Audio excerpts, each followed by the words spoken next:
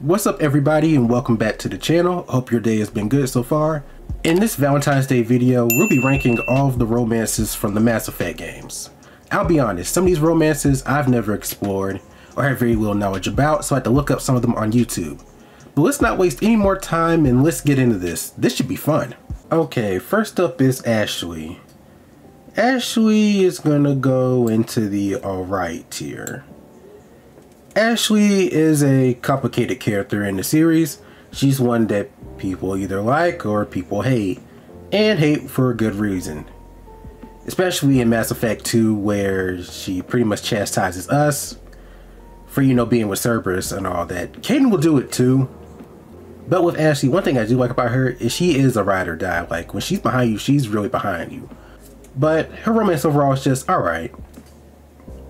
We'll see. Up next, we got, I think, Avela Kjar um, from Andromeda.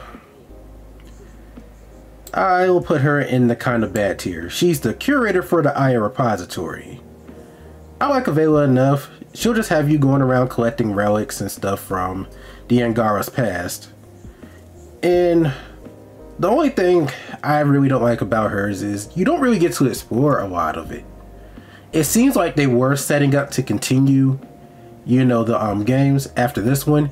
So the most you'll get from her is a kiss because she doesn't want to, you know, get in the way of your mission to pretty much go kick the Archon's ass and all that. So because you don't really get to explore the relationship a lot, she's in this tier. Okay, up next, we got Cora. Cora goes into the alright tier. I put her in front of Ashley. I like Cora quite a bit. Especially after reading um, Mass Effect but I got I forgot which one it was, but I really started to like this character a lot more. Cora is trying to find her place in this world. She don't really have a purpose. You know, and um, she was the second in command for Alec Ryder you know, until he got killed and, you know, a sister, son, or daughter takes over. Which does cause some bad blood between us for a little while, because Cora's supposed to have that spot. However, um, after getting, after talking to her a little bit more, you start to kind of understand why we were chosen instead. And Cora will say herself, she doesn't really blaze a trail. And as a Pathfinder, you've got to be a leader you've got to be one to blaze that trail, and Cora's not really that type of person. She's better as a second in command. But the romance with her is sweet, you know. I think I forgot if it's like a loyalty mission. No, it's not really a loyalty mission, but you get to hang out with her for a while on Eos. She wants to plant this garden, and it'll be a while, you know, before they do it on that desert planet, but she's willing to see, you know, what happens. You get to chill with her by the lake and stuff, and it's a really cute scene. So, we'll keep her here. Okay, Diana Allers. Hmm. You see, there's a whole ranking for her, right? And to me, because she has that, I gotta put her here. I don't mind Allers as much as other people do. Because to me, she's just kind of there. She's out of the way. She's not like you know, this annoying character that's just in your face all the time. She's there to report for battle space, and she does that. You get to have a little mini romance with her, but overall, it's just, eh. I think if there was a little bit more to do with Diana, I think people would have liked her a bit more. Okay, Garrus. Uh, I'll put Garrus in the beautiful tier. Garrus is our road dog. One of the first people we meet in um, the series. Someone who was there for all three games. And because of that, you start to kind of kind of get this brother or sister relationship with him. And if you got that sister relationship, it can actually develop into something more. And I do like Shepard and Garrus's relationship. It's cute. I think one of the most famous scenes is when um, they were doing the tango. You know, he actually taught Shepard to dance. Who would have thought that? And by the look on Shepard's face, Garrus was definitely getting some that night. There's no ifs, ands, or buts about that. so yeah, Garrus' relationship is a really good one. Okay, Gil. Uh, to be honest, I don't know much about Gil. He's a decent dude. A lot about boosting the batter and stuff with him. He goes. Guess I'll put him in the alright. I kind of want to do kind of bad because his romance is kind of meh, but he'll probably be on the end of the alright tier. One notable thing about him is that if you do romance him, your Ryder and him can become parents at the end. I don't can't remember if it was Jill that got pregnant for them. He's a um, gay romance, by the way. Um, but I thought that was pretty cool. Liara, get your ass up here. you already know where she was gonna be at. Well, I say Riara, she's she was a homegirl, you know, since Mass Effect One. When we saved her on Therum, she's there for you through everything. And I think the most important thing about Liara is, in terms of Shepard, is that she helps us come back to life, you know, after we got killed in the beginning of Mass Effect 2. She went through hell to um, bring us back, you know, give us the Cerberus and all that. That's how we ended up with them. To me, if someone does that for you, like, you're my friend for life. And if you romanced her, you know, in Mass Effect 1, like, girl, I ain't never leaving you. You helped me come back to life, like, and you've always been good to me. Like, why would I do that? So, gotta like romance right there. Okay, Jaal. Uh, I'll put Jaal in the beautiful. If I can remember, this one was a really good romance. And mainly because of Jaal and Angar themselves. They're very emotional people. They wear their hearts on their sleeves. And I think in relationships, that can really be a helpful thing. Because there ain't really, probably ain't going to be, I want to say no secrets and all that. And he's going to say what he's feeling to you. And I think he just has a really good connection with Ryder after a while. And it doesn't matter if you're Scott Ryder, Sara Ryder, Jaal's down for whatever. So yeah, really good romance. I like Jaal. I like his spirit a lot. Jack. Now, this is one of my favorite romances. Before I move on to Jack, though, I want to say for Jaw, the only reason he probably isn't going into the godlike tier is because you won't really get it for that game. I think if we had a Andromeda 2 and stuff, and we got to, you know, date Jaal again and all that, he would definitely be in the godlike. But okay, back to Jack. Um, Jack goes in the great tier. Jack is crazy. No ifs, ands, or buts about that, especially in Mass Effect 2. But after talking to her, you know, you really understand why she's like that. And you can really help bring her out of that shell, you know, make her a bit of a softer person. She opens up to you a bit more. Now, Jack does have a trap thing with her though, where if you try to get in them guts too early, you'll lock yourself out of the romance because she'll think you're just like all the other people who've taken advantage of her in her life. So you got to play the long game with her. But if you can do that, it's really rewarding. Especially come Mass Effect 3. Jack's not a main squad mate in Mass Effect 3. But the romance is still really good. You know, you get to hang out with her in the Armax arena. You get to shoot shit with her. She brings her pet Eezo. And she mentioned she got the N7 tattoo on her ass and stuff, so she's down for you. So, really, really great romance. Okay, Mr. James Vega. Uh, his isn't really nothing special. I think James is better as a friend. No, he's a really, he's a decent dude though he just going through some shit in Mass Effect 3. He's still trying to get over, you know, how he lost his squad and all that. And you can really see it still has effect on him, especially the way he was acting in the beginning.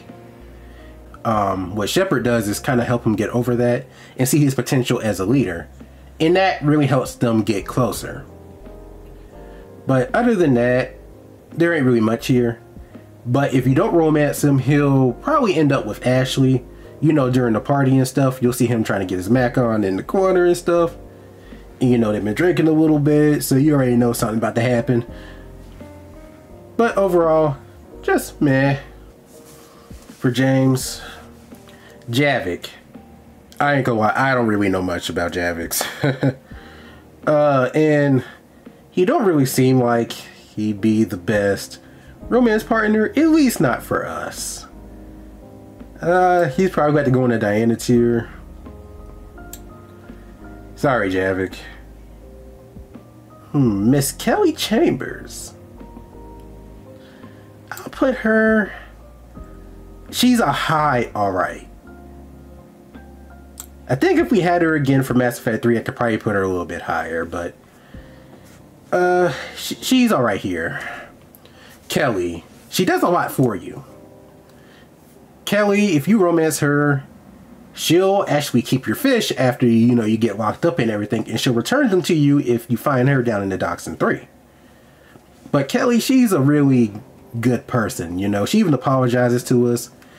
You know, for her other role that she had, she was kind of keeping tabs on us for the Illusive Man. You know, I think Mass Effect 3, she'll admit that to you, you know, but I forgive her because she was down for us the whole time, you know. And her relationship it is kind of cute, you know, it's really flirty. You can have dinner with her, and she'll dance for you. Um, I think at the end of the game, I think you have to go through the collector base and all that stuff but she'll do a little strip tease for you and there's just a lot that really comes with a character like her that you wouldn't expect.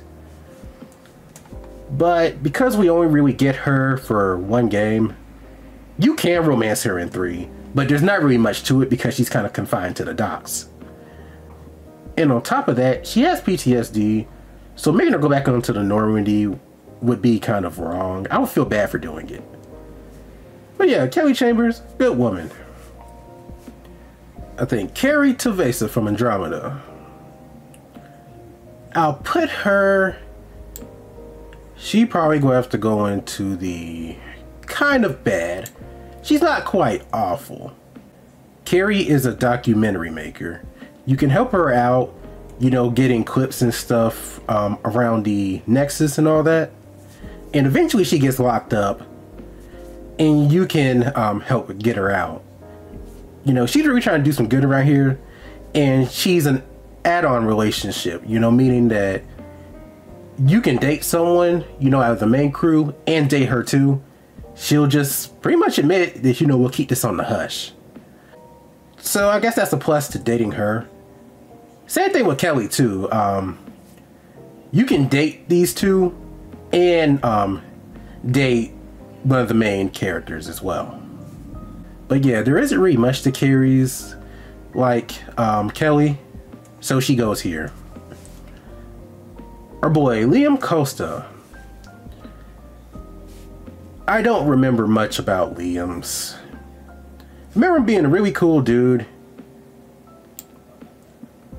Liam, he really just trying to improve the state of things, you know. You know in Andromeda there's a lot of beef between you know, the Nexus folks and the exiles. And so he doesn't think it's right that we have this beef because we're in this strange place together. We got the kett, we got Roekaar. You know, there's no time for us to be fighting each other when we got these threats and stuff going on. So I think, you know, he kind of has that sense of responsibility. And I think that would play well into our relationship. He's actually one of the ones I've actually never really looked at, so that's why I don't have a lot on him. But my gut tells me to put him in the alright tier. Okay, Morinth. Get your crazy ass over here. Morinth is Samara's daughter. She is the one that we have to help kill in Mass Effect 2. Or help with if you want to betray Samara. But why the hell would you do that? Uh, Morinth is totally not worth it. Now, you can keep Morinth as a squad mate. But if you try to get into that Asari Azure, you're to end up dying very painfully. And then in Mass Effect 3, she ends up getting turned into a Banshee anyway. So you pretty much kill Samara for nothing, so she definitely goes here. Sorry, crazy. Let's see. Reyes Vidal. Awful. I feel like we needed more time with Reyes. He kind of has that Han Solo vibe to him. When I hear people talk about Reyes, that's pretty much what comes up. He's also the charlatan. You know, he's also the one fighting Sloane Kelly um, over at Kadar Port, pretty much for control of the station. But he does it from the shadows, and he has his homegirl. I forgot her name. She's Nagara, though. She has her pretty much be the figurehead while he rules things from the background. And as far as the romance, I think you can have sex with him in a storage room or something. But after that, there's not really much to him. Now, Traynor. Samantha Traynor. This is one of my favorite romances as well. She goes into the great. Probably would be even beautiful if we had her for more games. But Samantha, she kind of helped with the retrofits on the Normandy. And only thing about her is that you have to be female Shepards to romance her and all that. But it's worth it. Because Samantha is Samantha's cute. Like I love her and Shepard's relationship a lot. You really help her gain confidence within herself. And then towards the end of the game, she's pretty much a gung-ho soldier with the rest of y'all, so she comes a long way. And then her um, mission on the uh, Citadel, where she's playing, what is it, Kepesh-Yakshi with um Tasuza. And you can pretty much give her confidence to, you know, pretty much kick Tasuza's ass and stuff. And it's just things like that. But she also reminds me of another character from an anime. Greenback Jane, because she's nerdy, but freaky as hell. Now, she didn't turn into a straight thought like Jane did, but I'm going a little bit left with this. Great romance, Lady Samantha. Okay. Our old girl Samara. Sorry, Samara, I gotta put you in the kind of bad, but almost alright tier. Samara is a Justicar. You know, pretty much an Asari monk. We help her kill Morph here. Now, the, the reason Samara goes into this tier is because you can't really romance her. She'll reciprocate your feelings, but because of the code, her Justicar code, she can't really go all the way with you. So that's pretty much where the buck stops, but at least she acknowledges your feelings. Okay, Suvi Anwar. We're gonna put Suvi right behind Traynor. She's pretty much our trainer for Andromeda. And I like Suvi. I really like how curious she is in her spirituality. She's a very religious person, which I guess rubs a lot of scientists the wrong way, especially with how far, you know, science and technology has come. It's like, why you still believing in a god and all this stuff, you know? But I really like that about her. She feels more grounded. Now, her curiosity on her hand gets her in trouble when she wakes a space rock, and pretty much her mouth starts to swell up and stuff. but yeah, she's just really adorable. I like her in Ryder's Romance. Now, she's only she's a female only one, so keep that in mind. But I love Suvi. Thane. We're actually gonna put him right behind Suvi. I love Thane as a character. You know, Thane, our assassin brother. We help him mend things within his family, you know, with his son Kolyat and stuff. Casting the Cradle to me is one of the more unique missions in Mass Effect 2. And in the whole series in the whole series in general. But I really like Thane and Shepard's relationship. You have to be FemShep the romance thing. But I really like how he calls her, her his Siha, I forgot what that means, but the fact he has that pet name for it and stuff. And I love things um, religious side. I love his spirituality as well. He reminds me a lot of Suvi in that way. And then towards the end, you know, after you get stabbed and stuff, and then you can read, I guess the uh, was there ever a name for the uh, Drell Bible? But you can read that with um alongside Kolyat as things dying and stuff and things death hits harder as FemShep because when you're going back over those tapes that Kolyat will give you after things memorial service, FemShep will actually cry watching them, and it's just sad. So, Thane is a really good romance. Rest in peace, brother. Vetra. Vetra goes into the alright tier. I'll put her higher up in here. Vetra is a jack of all trades type of person. Double on the trade because she helps us get most of the shit for the uh, Tempest. The romance with Vetra is pretty nice. You know, Vetra, she really tried to do things for you. Like, I remember to cook steak for you. She fails. But it's cute that she even tried. You know, and then you can get something from her right right after that. One thing I really like about Vetra, though, is her sense of responsibility. Particularly for her um, sister, um, Sidera, Sid. You know, she's been taking care of Sid ever since, I think she was a teenager. No telling where her dad went. And while Vetra can be a bit overprotective of Sid, with good reason, though, considering that Sid's likely to get herself in trouble with some of the shit she tries to do, Vetra's whole loyalty mission is kind of centered around what I just said. She tried to do some good. In Vetra's name, it backfired. We get captured. Sid ends up getting captured later, and then we have to save her. But I think Sid has a better idea of what Vetra's into because of that. But overall, I do like that sense of responsibility. It do seem like you would have a good relationship with Vetra if you do date her, so... Yeah, we'll put her in the mid, though. Because it's good, but it's not as good as other um, relationships in Andromeda. Okay, Sha'ira. We'll put her in the awful, because you don't really get to date Sha'ira. You pretty much just get the banger, but she is appreciative for the what you do for her. I remember, um, I think it was the Elcor diplomat Xeltan. He was raising the stink about a secret that got out. And a lot of that happened because of Septimus Oraka, you know, that Turian general. He was salty he couldn't date Sha'ira, so he released these secrets, and we have to pretty much clear up the misunderstanding. Well, not even the misunderstanding, we pretty much have to get Oraka to pretty much do the right thing.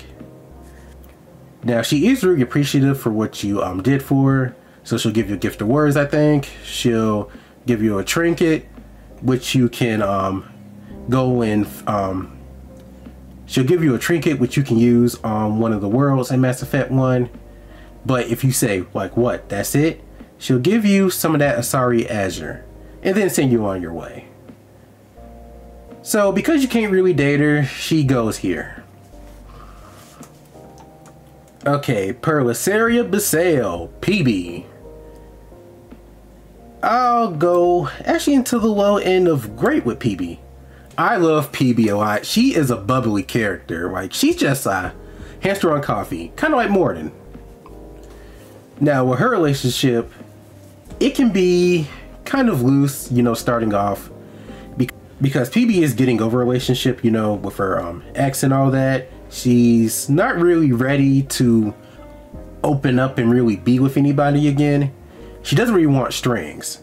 But the closer you get to her, you know, she'll eventually want strings. And when it comes to romance, though, Peebee is awkward. but it's so funny. And she also has one of the better sex scenes in the whole series as well. So I'll give her that. But overall, just a pretty good romance. I like it. Now, Miranda. Miranda is an interesting one. And for me, she kind of goes in the either great or beautiful tier. You know what? I'll put her in the beautiful tier. Because I do like Miranda's um, romance a lot. Now, Miranda, she kind of struggles to really get close to people. She's very closed off as a person. Kind of, I wouldn't say, well, not as bad as someone like Jack or, not, um, I wouldn't say as bad as Jack, but that is one of the things with her. The only people she's really close to at that point is, the only people she's really close to by the time you meet her is her old friend Niket and her sister Oriana in spirit for Oriana because she never even met the girl, but she tries to um, keep her alive and stuff tries to keep her away from her um, controlling father. She escaped her father at a young age. And that's going to lead to some shit later on. But yeah, I think for Miranda, she really needs someone in her life who can truly understand her. You know, someone who also kind of, I guess for lack of better words, she needs a strong willed person to be with her. But once she really can kind of break through to her, her and Shepard's relationship is really good. Now in Mass Effect 3, she's kind of secretive because, you know, she's trying to stop her father, she's on the run from Cerberus, and she doesn't really reveal a lot. We pretty much have to figure out what's going on, which is by circumstance. We end up running into, you know, what the Illusive Man and Cerberus were up to on Horizon, where we meet her there. But after that, you know, Miranda is free to date, and you can go to the Citadel, you can go to the casino, and I think I just think her and Shepard's relationship is good enough to warrant actually being in a beautiful tier. Now, Jacob Taylor. Jacob's romance is hated by a lot of people in the um, Mass Effect fan base. Mainly because Jacob cheats on your Shepard, and because of that, he is going to have to go here. Sorry, Jacob. I do like you, though. Thing is, after Mass Effect 2, you know, he'll move on to um, Brynn Cole. He'll meet her at some point and end up dating her. Now, part of me gets it because after Mass Effect 2, we get locked up because of what happened over in the Viper cluster.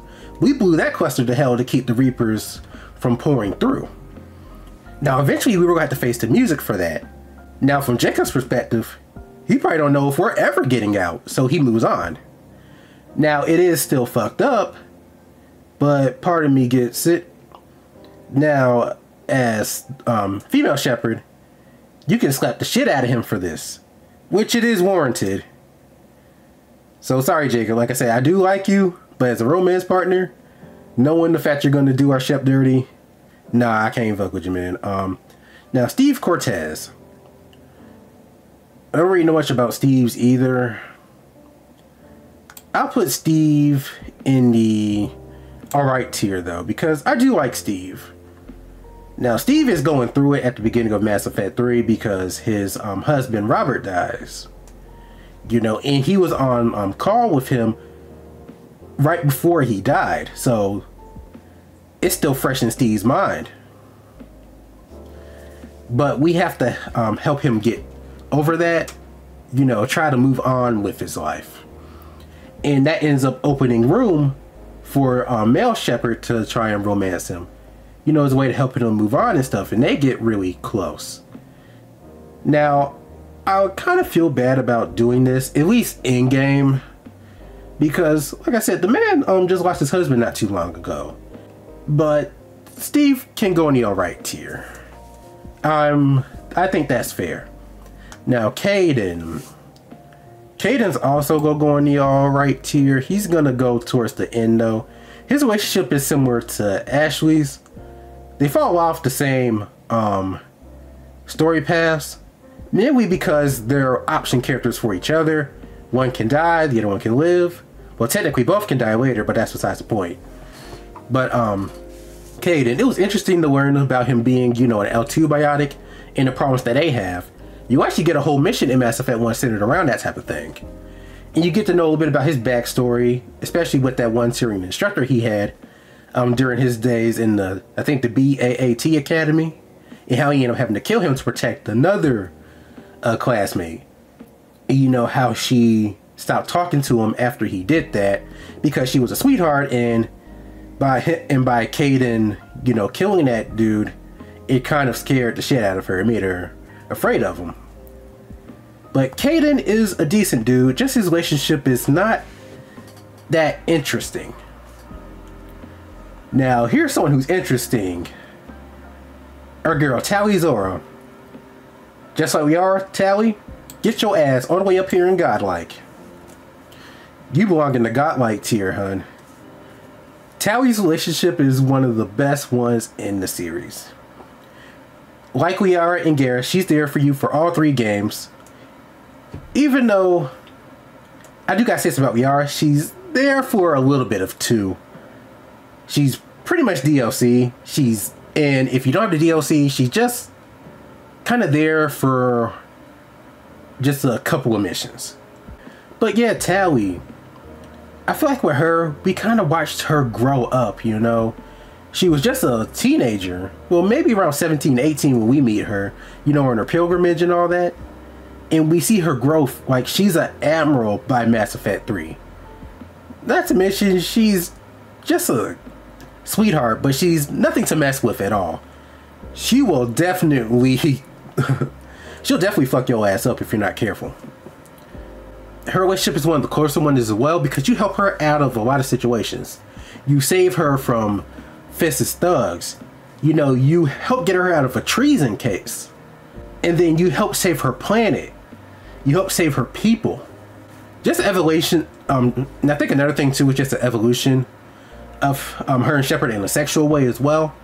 Because when you have sex with her in Mass Effect 2, she has a nasty cold that's going to last for a while because her body is not used to being in contact with other people. But she was willing to do that for us because she loves us that much. And then in Mass Effect 3, she's used to us at that point, so she doesn't even have any of those symptoms anymore.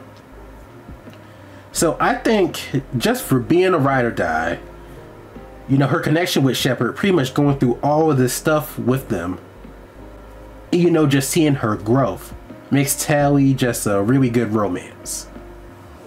So that's everyone, y'all. I really hope y'all enjoyed this video. Where would you rank these romances? Let me know in the comments.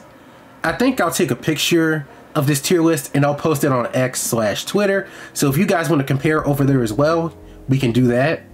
Thank you for watching, y'all. Feel free to like, comment, and subscribe, and I'll see y'all in the next one. Peace. DDDJ